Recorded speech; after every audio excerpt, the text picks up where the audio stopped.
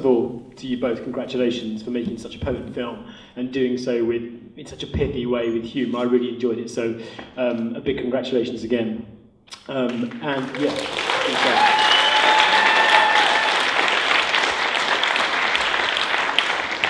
And just while you've got your hands out, um, I think a round of applause as well for, for this festival and these programmers for continually finding films from first-time directors that take on issues. Not all festivals do, so congratulations to the East End Film Festival as well. I'll, I'll tell you the story of how we ended up at the, the, the East End Film Festival. Was literally we sort of were sitting there finished uh, editing our film away, and I just sort of someone had mentioned it. I thought, oh, you know, I'm just going to give them a call. I'm just going to call up, and it happened uh, that, that Alison picked up the phone and we said, we've got this film. And I just described it to her, and she went, "Yes, I like that film." Uh, and it was that we never thought it would be that simple, but it, it, kind of was. And you just completely took a punt on it, and, and it was, you know, that, that was a very brave decision to make. And thank you for doing that, because it could have been shy. Great. Um, yeah, if, if, you don't mind indulging me a bit, I've got just a couple of questions to, to kick stuff off. Um, and to just to kind of go around the humour a bit and to kind of drill down into the, to, to the devil, the psychology of the devil a bit. Um, you, I think, have either described yourself or you've been described as a recovering tabloid hack. Can I ask how you think one contracts the disease in the first place? Um, uh, that's a, that's a, good, that's a good question. Um, uh, you know, it, it's not so much a disease. There's nothing, there's nothing wrong with tabloid journalism in itself. Tabloid journalism, in its essence, is, is just popular journalism. But unfortunately, what's occurred, to my mind, is that tabloid journalism has moved away from its roots. When you look at the, how the Mirror used to be, it was a really brave, investigative newspaper. It was a tabloid, and you know, some people have described it as an anti-tabloid film. I don't think that is fair at all, because it's not. You know, I, I love tabloid journalism, I love journalism. I hate what tabloid journalism has become, which is mainly just a, a really just a celebrity, drivel, sort of PR guff experience that, has very little news in it at all. And, and you know, the journalists entering the industry, uh, very talented people with very good qualifications, their opportunities are limited to writing captions that mail on mail online bikini picture pieces. And I think that's wrong. I don't think that that's what we should be training people up to do, because that's the only opportunities that exist. And I think that's a massive problem. So, you know, I, I, I don't like, you know, I don't like to describe it as a disease, because I think that good journalists should become tabloid journalists. I think the conditions they're being asked to work under is, is a real problem. And it's not letting them do what they're trained to do and what they want to do. Sure. Um, and do you detect, I mean, it's, it's a, it, you're relatively fresh from the fight in that sense, it's not so long since you left. Do you detect either from former colleagues, your own experience, and what's going on further afield with Leveson, post Leveson? Do you detect any, any meaningful cultural change back to the type of tabloid journalism that you, that you value and would like to see? No. Um, simple answer. Um, no, it, I, I was massively disappointed. Um, I'll admit, with the reaction of a lot of Fleet Street to Leveson, um, the the way that, you know, when I was working in industry, that you'd be down the pub appeal from all sorts of newspapers and they'd be complaining about the, the very conditions they're being asked to work in and not being able to pursue proper stories and, and, and just not enjoying um, the job and feeling a lot of pressure coming downwards on them.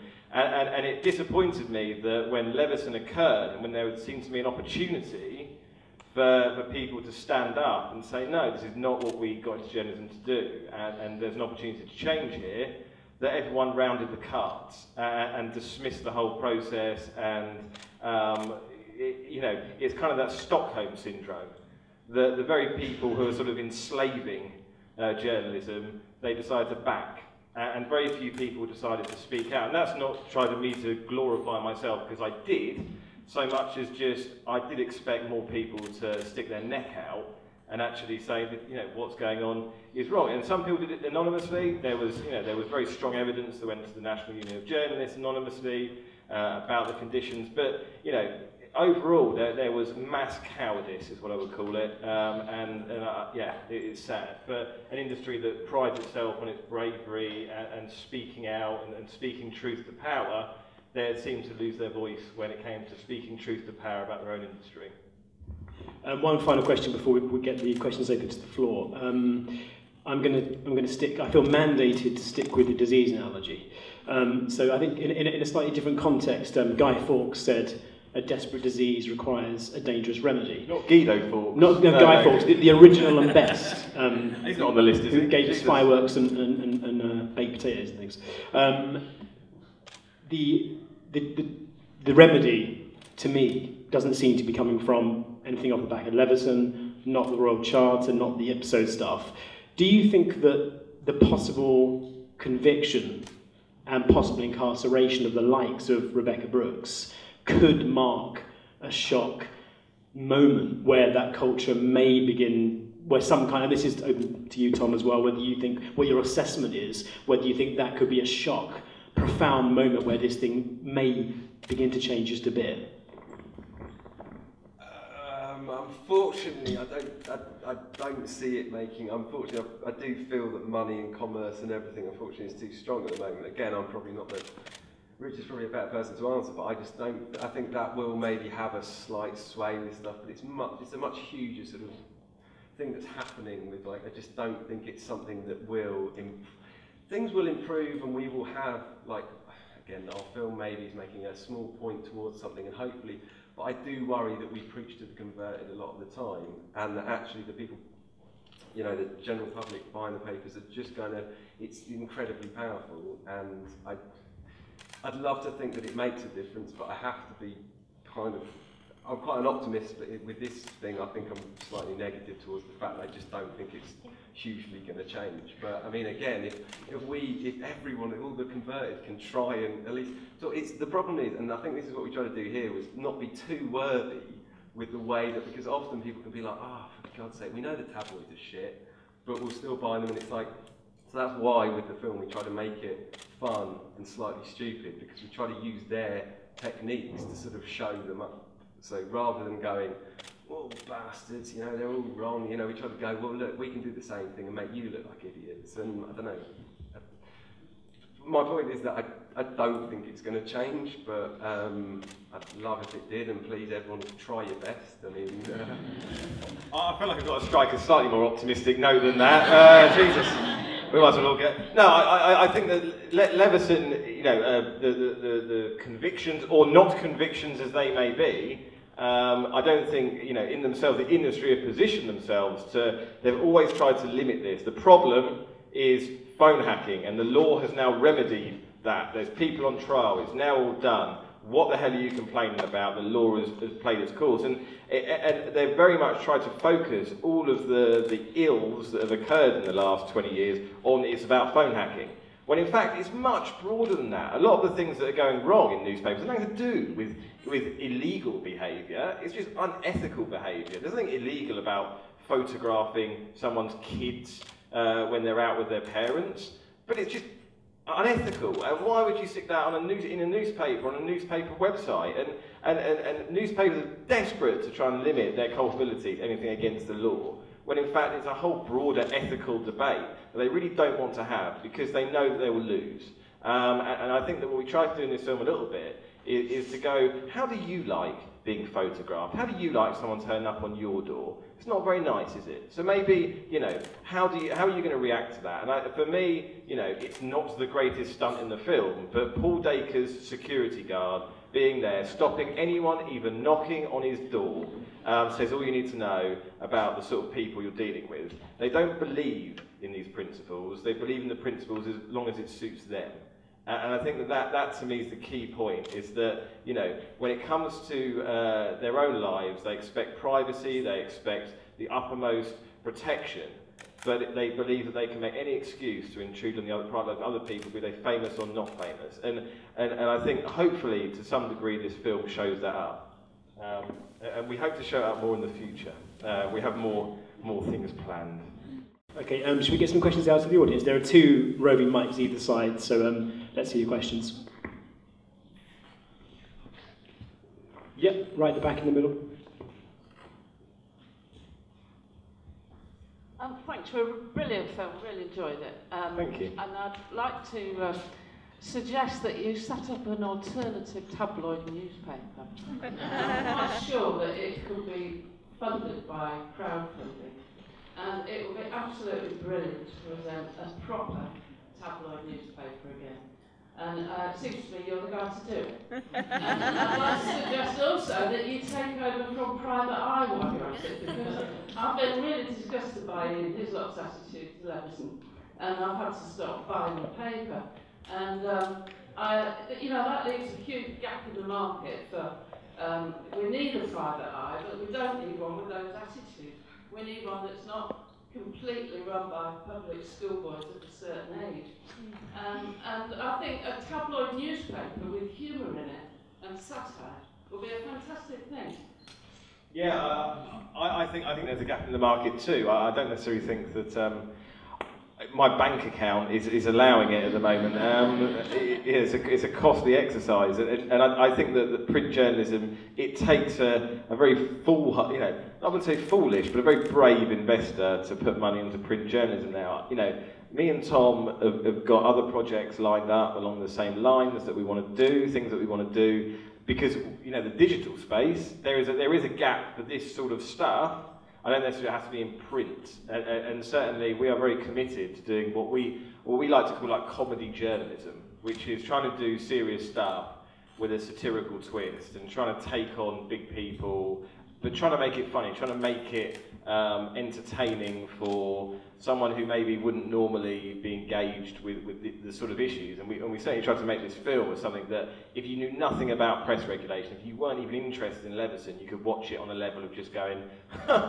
he's got a dildo. you know, so, you know, so we, we kind of wanted, we kind of wanted to keep that there, and we want to keep on doing stuff that you can kind of hopefully attract people who wouldn't necessarily be interested in weighty sort of stuff um, and, and, try, and try and sneak in some little political strong points um, whilst not making that the focus. So yes, I, I, I thank you. I, I, very much thank you. I don't, I, you know, I don't think I'm the heir apparent to Ian Hislop. That, that's very, very kind of you to say. And, and, and I also, as a, as a massive fan of Private Eye, am hugely disappointed in the, in the, in, in the way that they've approached it. Um, you know, I get some of their arguments to a degree, but I think they're, they're wrong. And um, it is disappointing, yes. But, you know, even you don't have to necessarily agree with all of your friends on, on everything. And I think that that's, uh, that, that's the thing that, that perhaps uh, the whole row anything following with index on censorship, etc., in the last week uh, seems to have been forgotten by such individuals as Nick Cohen, uh, whose name we shall not mention. Uh, just a quick supplementary point to that, um, in terms of there being a, a space in the market. I mean, it may, it may not be, you know, dildos and, and, and that much fun, but something like the iPaper, you know, the, the spin-off of the, of the Independent, which is a tabloid and which contains, you know, light-hearted content, some celebrity focus, does show actually that you can, and it, it, it's, a, it's, it's a considerable success. It's a very successful launch and continuation of the, of the iPaper. So it does show that you can produce a tabloid newspaper which is light and is, is, is, is funny and with some celebrity interest without adopting some of the worst elements of, of what the type of of, of things that we've seen exposed in this film. So, yeah, there is some to, to, be honest, if I set up a tabloid newspaper, the first thing I would do on the first morning is go and send lots of paps down to Hugh Grant's house just to wind him up. just because he wouldn't be expecting it, you know what I mean? Uh, uh, yeah, sorry, there's a question over there. Can we get a mic just over there, just on the on the right hand side? Sorry.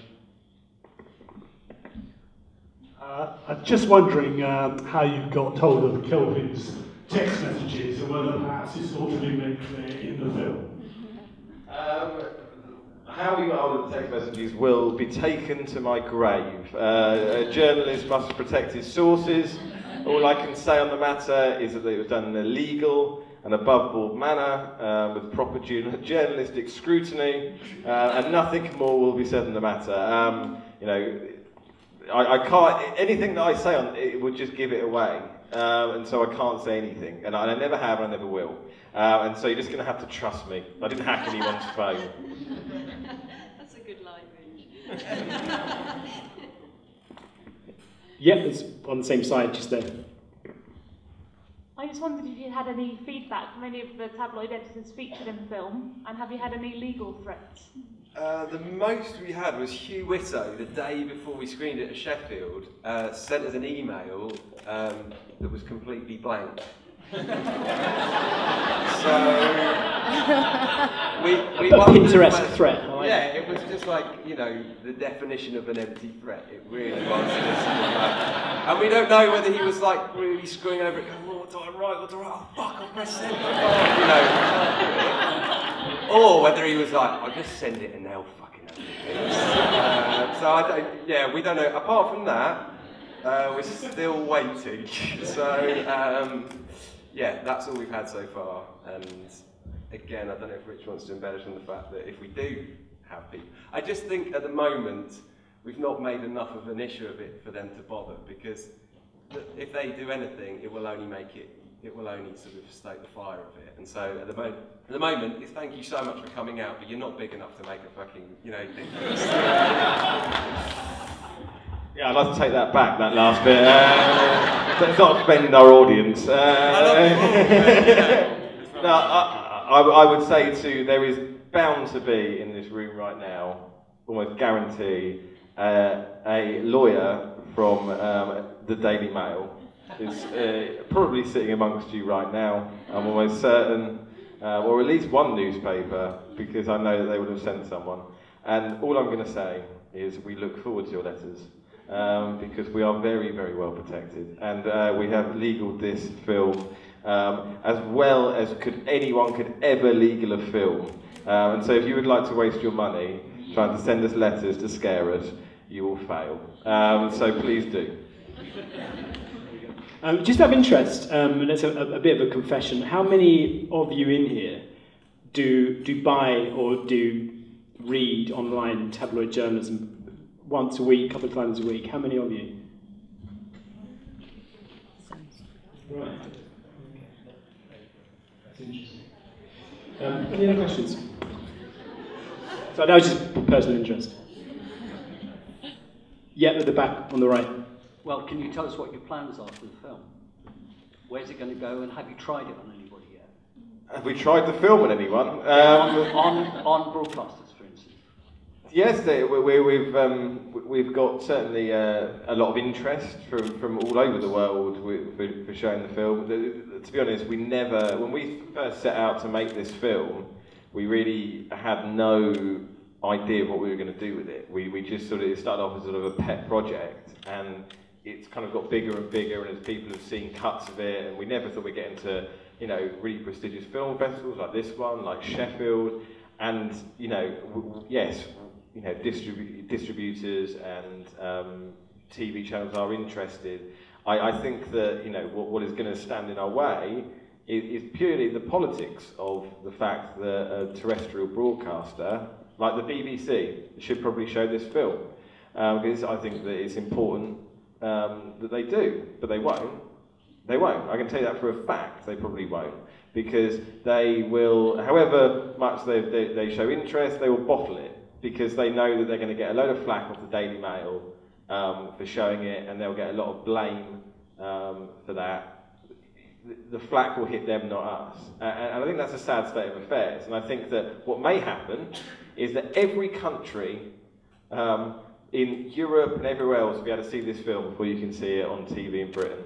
And hopefully, just the pure embarrassment of that, um, the, the film about the British tabloids you can't see in Britain because our great free speech defenders, uh, the tabloid newspapers, uh, don't want you to see it. I mean, to be honest, that's brilliant. I, I hope that occurs because that is just a, almost like the ultimate stunt of all, is that they try and stop you seeing a film about them um, whilst claiming that they are the bastions of free speech.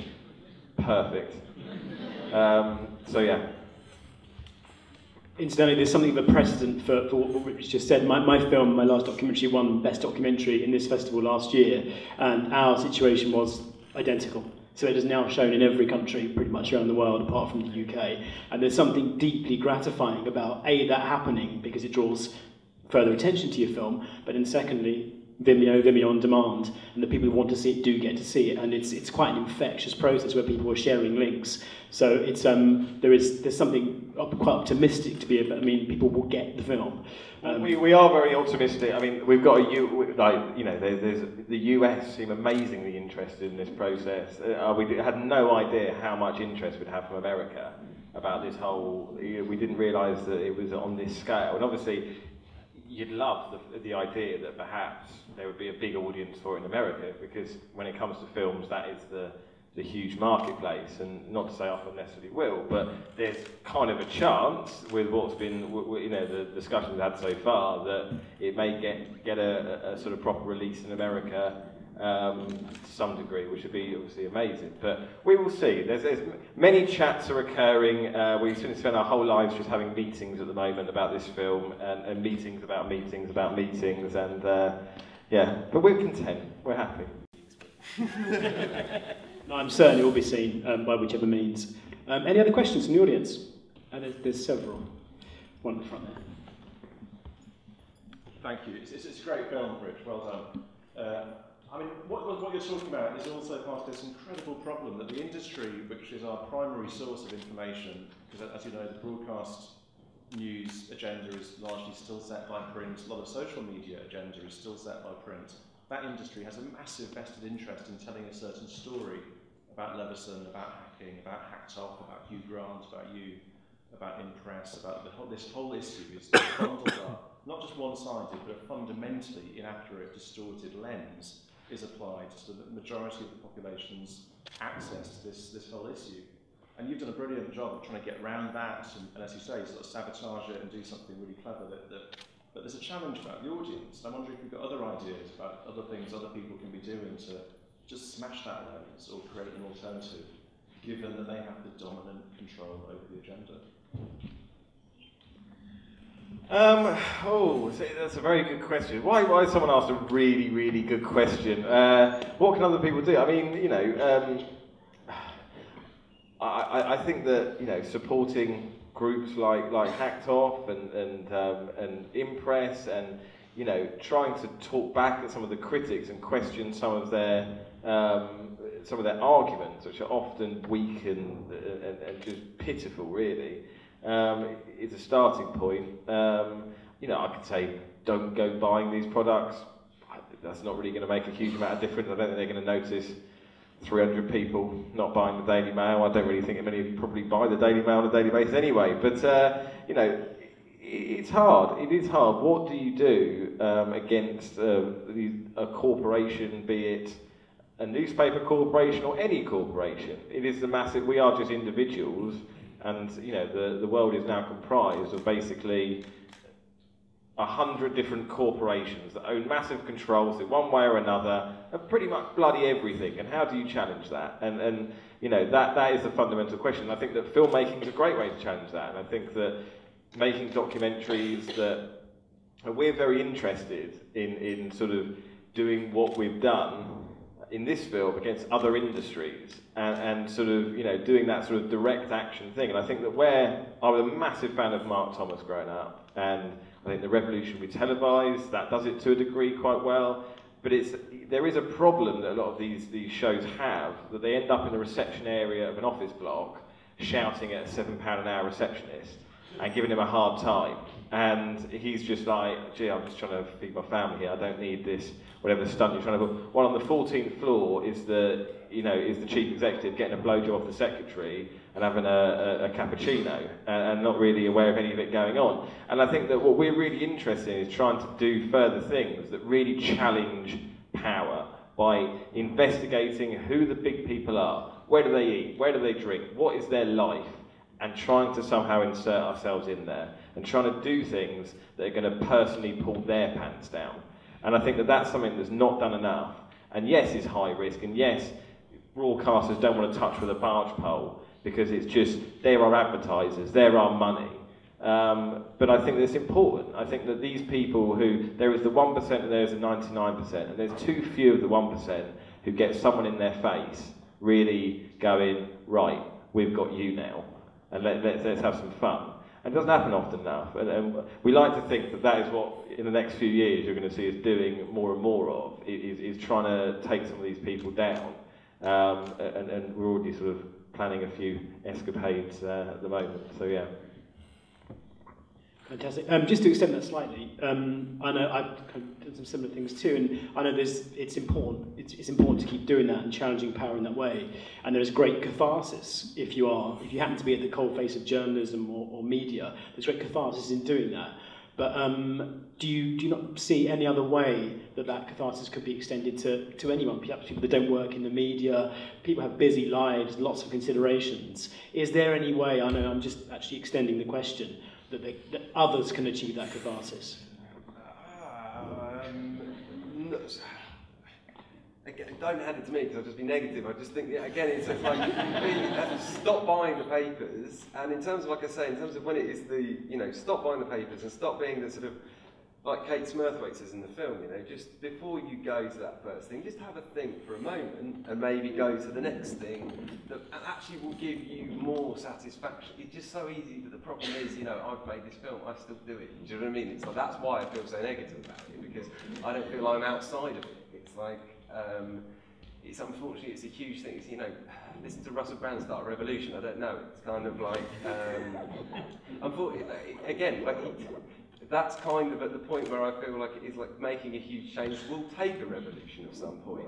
And I, I think at the moment, but if, if we uh, slowly try, if, if everyone in their everyday life tries to take this on and maybe not take everything, again, no, that's really bad. I was going to say, don't take it so seriously, but it's like, it's kind of like when you're in a discussion with someone, don't get all right. Try and let them see the humour in how stupid it is, rather than be sort of very right or very sort of worthy about it. I, I think both of us feel slightly awkward about the. I don't want to be sitting up here like going. This is how you should do things No. because It's I, exactly I, who we, am I we, we, to exactly. say we, we've just anyone. made a fucking film Yeah. kind of a stupid film that you know we just did a thing, and it doesn't think that qualifies No. us to be telling anyone how they should do anything. Really, Exactly, we don't. We don't think that we're somehow now. You know, I, I I worked for them for two and a half years. Like, geez, I'm the last person in this room who should be telling anyone how to live their life.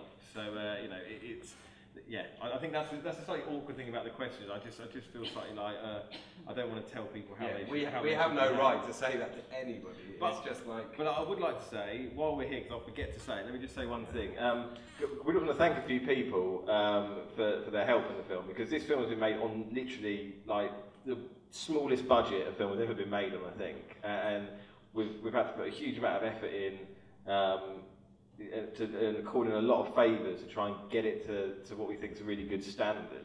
And two of those people who've been amazing are Bob Strongman, who's done the, the graphics animation, um, and, and Nick Norton Smith, who's done the music. And both of them have, have, have sort of, you know, stepped into the breach uh, uh, and have been so patient with us and have, you know, never complained despite changing our mind here, there, and, and have really got paid tossle for in the process. Um, and, and, they, and they're both amazing, fantastic, uh, creative people who can get a lot of money not working with us. And I, do- I, you know, they, are certainly two people that um, you know we really wanted to say thank you to. The film just wouldn't be here without them. So uh, thank you.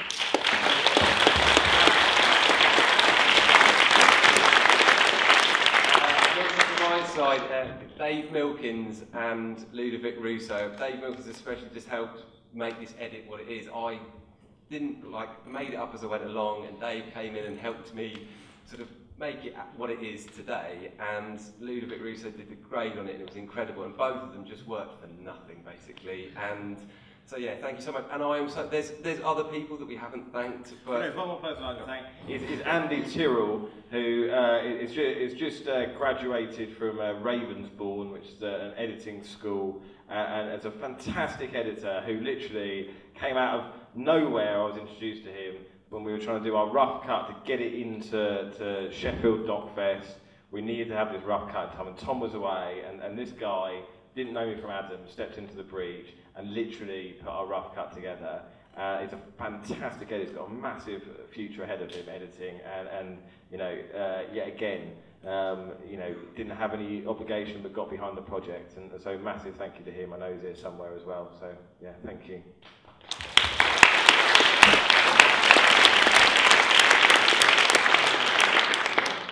I've just we're out of time, so um, I'm sorry if you didn't get your questions in. Um, after party, by the way, before I forget, is, is just across the road from here, 150 yards up the road. There is a bar that's called the, uh, it's called Tipsy Bar, but it's, that name is nowhere. So you wouldn't know that. Um, it, it, I think it's called the, the Showman's Guild, it says outside, but there should be a poster for the film outside if they've done what I said. Uh, they may not have done. Um, but it's, it's 150 yards up the road. You'll find it. Uh, yeah, come for a drink. And Venezuelan food. They've got a Venezuelan pop-up restaurant in there. That'll be because obviously tabloids and Venezuelan food are uh, very, very linked together. Listen, thanks once again. Good job.